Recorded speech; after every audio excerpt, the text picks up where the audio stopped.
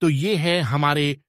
new articles R D X five in men sport and walking shoe जो आपको different different colours में मिल जाएँगे with good quality इसका जो अपर है, वो मैश मटेरियल का है, जो देखने में काफ़ी अट्रैक्टिव और स्ट्रांग है। इजी टू वॉश और डेली बेस पे यूज़ कर सकते हैं, जो जूते को काफ़ी स्टाइलिश और मज़बूत बनाता है और जो सोल है, वह ईवा मटेरियल का है, जो काफ़ी हल्का है और स्ट्रांग है, जो जूते को काफ़ी फ्लेक्सिबल बनाता है।